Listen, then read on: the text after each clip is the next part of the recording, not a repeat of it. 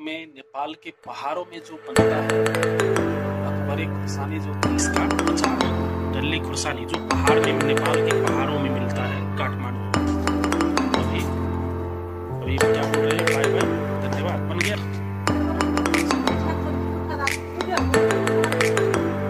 नेपाली कर दिया चलिए आज अब ब्लॉग शुरू करते हैं हाँ ब्लॉग मतलब लॉग में बना रही है अचार तो ये देखिए ये यही है अकबर खुरसानी जिसको डल्ले खुरसानी भी बोलते हैं और ये लाल है बहुत ही तीखा है खाने के बाद ऐसे लगता है जैसे कान से धुआं निकल जाता है ये देखिए भाभी बना रही है इसका अचार डल्ले खुरसानी जो पहाड़ में नेपाल के पहाड़ों में मिलता है काठमांडू साइड में और अभी इधर पहाड़ों में हर जगह मिलता है लगभग तो अभी मंथली से ये बनाने जा रहे हैं भाभी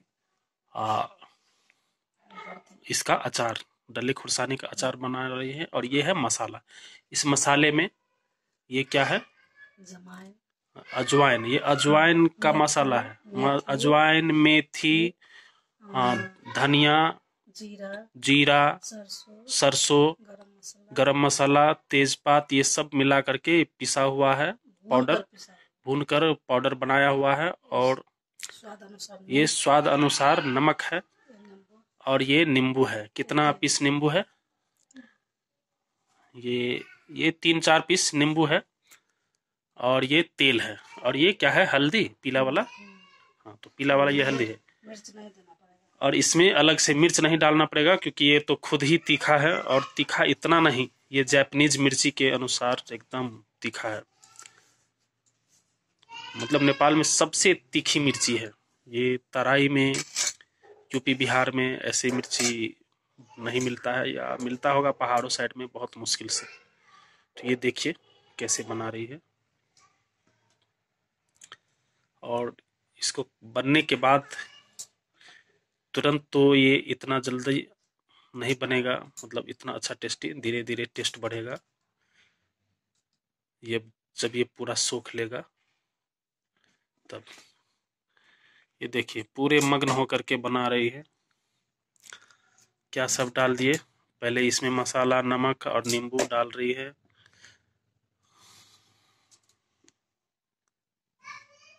और ये तेल डाल दी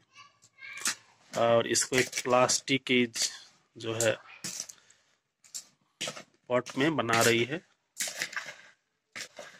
लाइक कीजिए और भाभी बोल रही है वीडियो को लाइक कीजिए कमेंट कीजिए और चैनल को सब्सक्राइब कीजिए और दूसरे दिन दूसरे भाग में फिर दूसरी आइटम बनाकर दिखाएगी भाभी तो अभी अभी क्या बोल रहे हैं बाय बाय धन्यवाद बन गया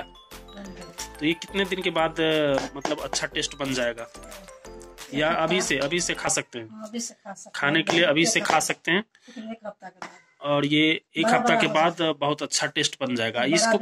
कितने दिन तक रख सकते हैं दो साल दो साल तक चलेगा ये खराब नहीं होगा फंगस फबूंदी नहीं लगेगा अच्छा तो मतलब इसको आप एक बार तेल में और एक बर्तन में रखना पड़ेगा तेल डुबा करके एकदम अच्छा से तेल रख करके इसको दो वर्ष भी खा सकते हैं हम्म, जिस पॉट में रखेंगे उसमें तेल भर करके रखना पड़ेगा तो ये सड़ेगा नहीं और टेस्ट बढ़ेगा ही है ना हाँ तो ये भाभी की तरफ से ये आइडिया है इनको अनुभव है इस अचार बनाने में तो अब लीजिए आगे देखते हैं अच्छा। वीडियो में फिर क्या होता है चलते हैं अगली जगह तर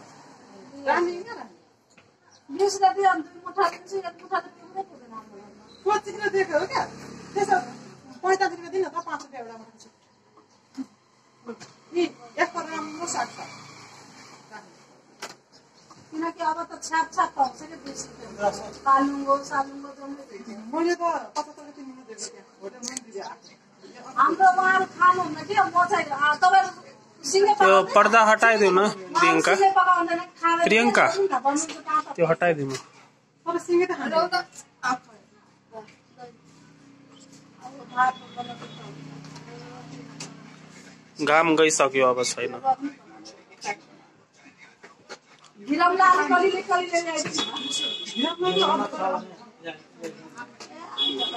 तोरी को साग कस्तो मतलब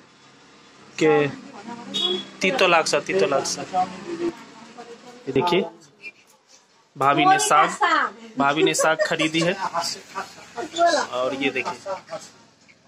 दो मुठा साग कितने का दिया है इंडिया में बोलते हैं सरसों का साग नेपाल में तोरी नहीं नहीं तोरी तोरी होता अलग होता है सरसों अलग होता है इंडिया में भी तोरी सरसों अलग अलग होता है तोरी मतलब छोटा सा दाना जिसका होता है थोड़ा सा कड़वा लगता है इसका साग ये देखिए अब इसका साग बनाएगी भाभी कितने का दिया है ये दो मुठा पैतालीस रुपया नेपाली मित्रों ये पैतालीस रुपये नेपाली का दिया है और ये मतलब पूरा हाँ। बनाएगी काटेगी नहीं छोटा छोटा पीस नहीं बनाएगी पूरा बनाएगी टोटल सिंगल हाँ, अब तो अब पहाड़ में ये देखिए सीड सहित जर सहित है ये दिखाइए जर दिखाइए जरा हाँ ये देखिए जर सहित है ये इधर देखिए जर मुठा कितना बड़ा है पैंतालीस फोर्टी फाइव रुपीज एनसी नेपाली इंडियन कितना हो गया अट्ठाईस अच्छा इंडियन अट्ठाईस हो गया ये मनीराज बोल रहा है मेरा भतीजा है मनीराज बहुत टैलेंट लड़का है मित्रों तो अभी ये देखिए अभी आई थी ये घर में दूरी का साग बेचने हमारे जो फार्मेसी क्लिनिक है उसमें और उसका हम अभी वीडियो बनाए थे कैसे गांव घर से महिला सब नेपाली महिला सब आती है यहाँ पर सब्जी बेचने के लिए और सब्जी बेच के चली जाती है तो अभी उसी तोरी को तोरी का साग रात में बनेगा और भाभी अभी बना रही है देखिए कैसे बना रही है